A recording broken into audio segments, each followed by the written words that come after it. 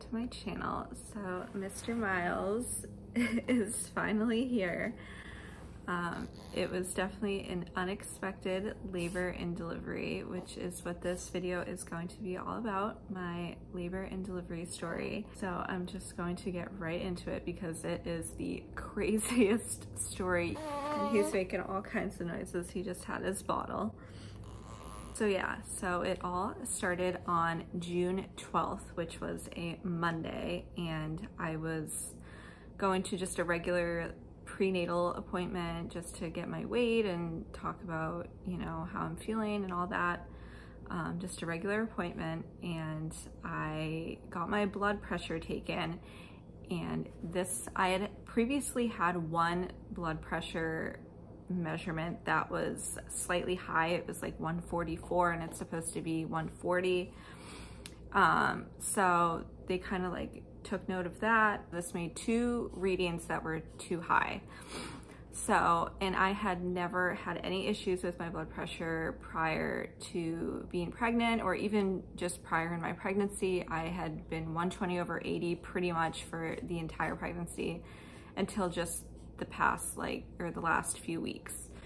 So it was so crazy. So they got that blood pressure reading and they were like, okay, so you've had two blood pressure readings that have been high. Um, so we're gonna call the doctor in. So the doctor comes in and he's like, yeah, we're kind of nervous about like preeclampsia, so you're going to be induced. And I think my life like flashed before my eyes when he said induced. I was like, what? um, because I was only, I had just turned 37 weeks at that point and I was not expecting that whatsoever to tell me that I needed to be induced. So the doctor pretty much just said, you're going to get a call from the hospital in the next couple of days and we're going to get you induced. So I was like, oh my God, okay. So I was like in complete shock. I could not believe it. I'm like, I'm about to have this baby. So I immediately left the doctor's office and got in my car and I called Brendan and I'm like, you need to come home right now. Like the hospital is gonna call me. I'm gonna get it. I'm gonna get induced.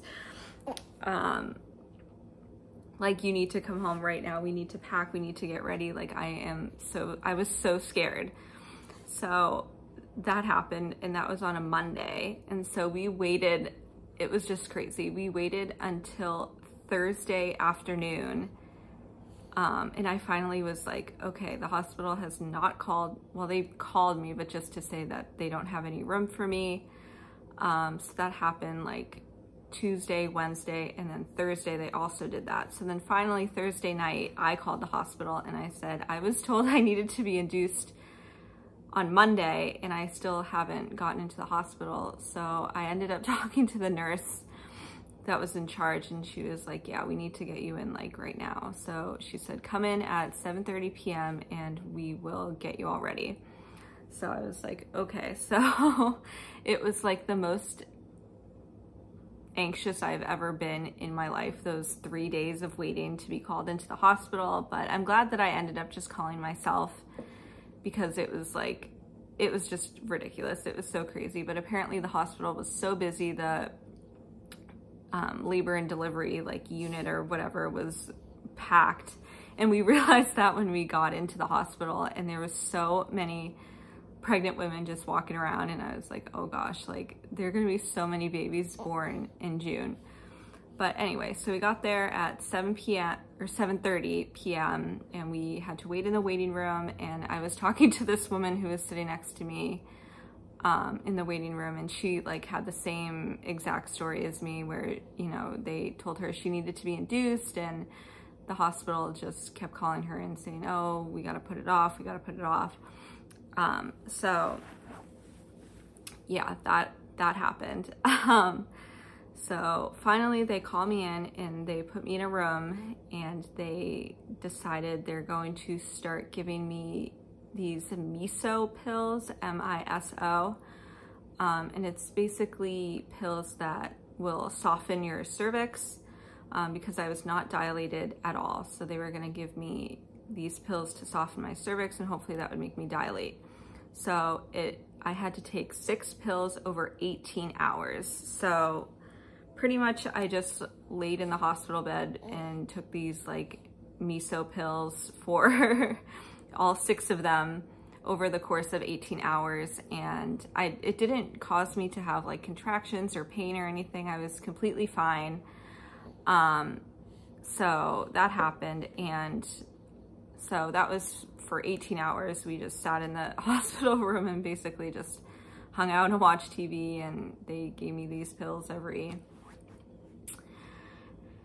every like three yeah every three hours um, so then they, after the six pills, they come in and they check my cervix and it didn't really do much. Um, so they decided on the next step was going to be, sorry, I'm looking down. I have this stuff written, written down. Um, but the next step was going to do a Foley balloon, which is literally a balloon that they put into your cervix to, um, and they inflate it in hopes that it'll like artificially make it dilate. So they did that and honestly, I think it was over 12 hours that I had the balloon. Um, and so after that 12 hours, or I should say after that 12 hours, the um, nurses came in again and they checked me and I was only four centimeters dilated. So they were like, okay, this isn't really helping too much. You're only four centimeters dilated. So they decided to move me into a labor and delivery room and start the Pitocin. So it was just like, try, like attempt after attempt after attempt and nothing was working. So I had the miso pills for 18 hours. I had the Foley balloon for 12. So this is like two or three days of being in the hospital. And I'm like, I feel like this baby is never gonna come. Um, so they ended up moving me into a labor and delivery room, which was so huge and beautiful. And I was like, this is great. But there weren't any windows, which was kind of weird, but it was really awesome. And I'll, I think I took footage so I can, I'll insert some clips here and there.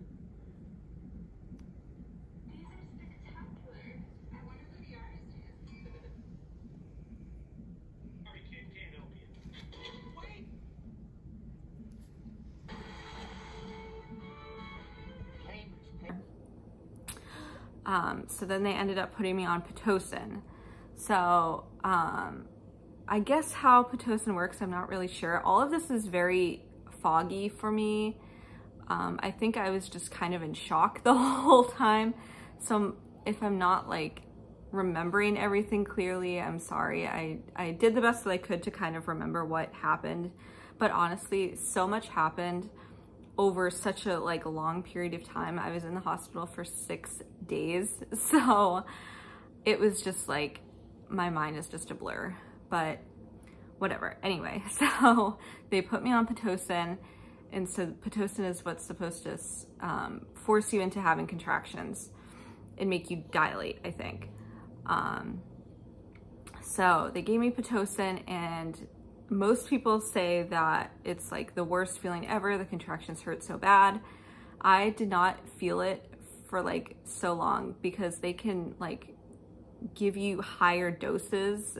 I'm sorry if I'm not explaining this right, but it started at like two and then she moved it up to four and then she moved it up to six and then eight and then I made it all the way to 20 before I felt any contractions. So it was kind of a while before I actually started feeling any contractions with the Pitocin. Um, but this is where things start to get a little blurry because I was just like all over the place and so like nervous and it was just crazy. Um, but the great thing is that Brendan was with me the entire time and he was so, so awesome and so supportive and I, I couldn't ask for anybody better to be with me and to help me through through this because it was a lot and we were in the hospital for a very very long time.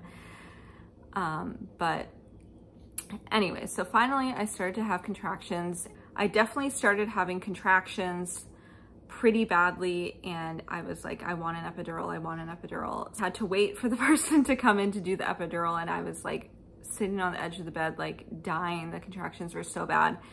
And the epidural was really scary because um, it was getting to the point where the contractions were so bad that I couldn't sit still.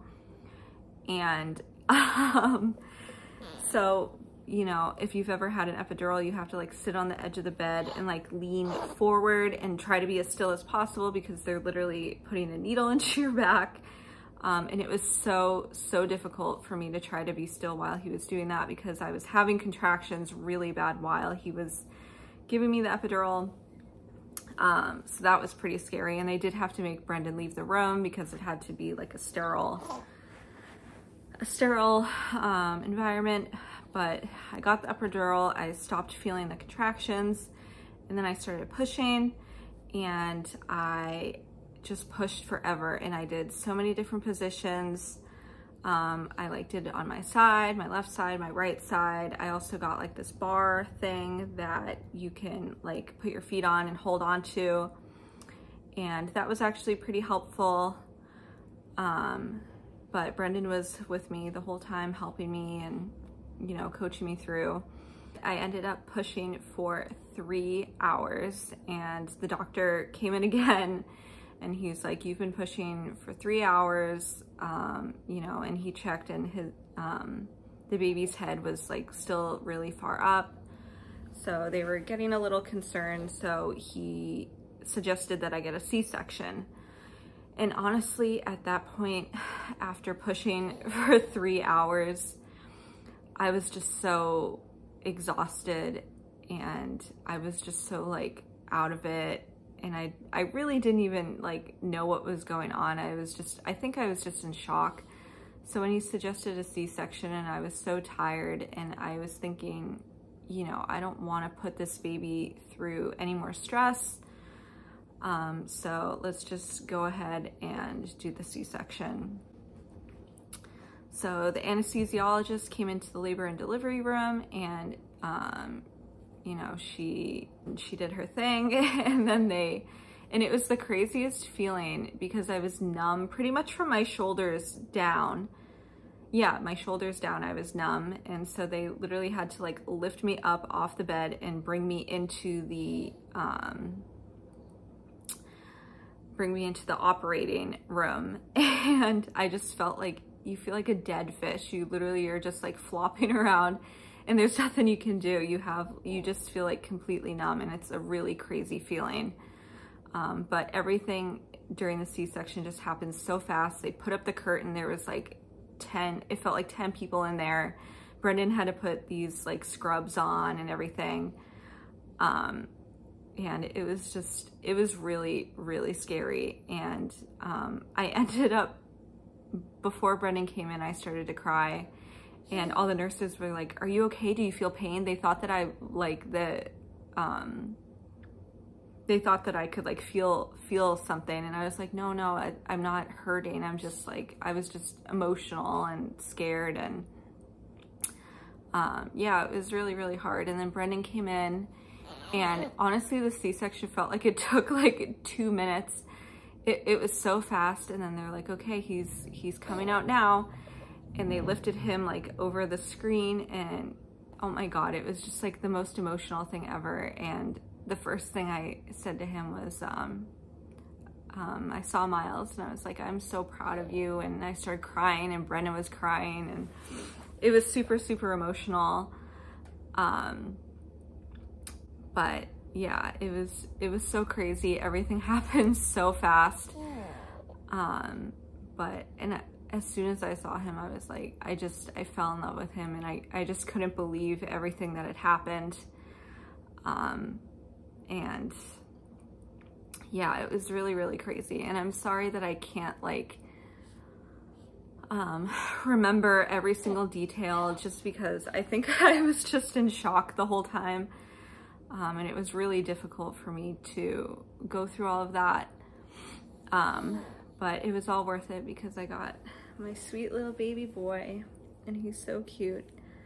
Um, but anyway, so after the C-section, um, you know, we were brought into a recovery room and we were there for two, two more nights, I think. Yeah, because he was born on a Sunday and then we left on like Wednesday afternoon. Um, but the first two nights for him with him was honestly so awesome. And it was so, it was so much easier taking care of a baby all through the night than it was going through all the pain and all the confusion of all these different things they were doing to me. Um, so once he came, I was just so happy to be with him. But the recovery was pretty tough because I basically like kind of went through a vaginal birth because I had pushed for three hours and my body was so, so sore. Just everywhere was sore. And then also having a C-section, if you've ever had a C-section, the pain was just like unbelievable. And I was on so many like medications and um, like painkillers and stuff. So I was very like completely, completely out of it. I don't really remember too much of those two days that um, after I had him. So it was definitely crazy, but I just could not wait to come home and bring him home and it was just the best thing ever. Um, so yeah, that was my labor and delivery story. I'm sorry that I'm like all over the place. Um, but I'm just, I'm so in love with him and I'm so happy that he's finally here. And I can try to show you guys, but he's just the best thing ever. So Miles is now two weeks old, so I have his first week of life and his second week of life videos already done. So I'm gonna post this and then post those two, and then I will be all caught up on my videos. And then tomorrow is actually the 4th of July, so I will be um, doing a first 4th of July video. So that'll be really fun. Um, but anyway, I just wanted to say thank you for watching and I will see you in my next video. Bye.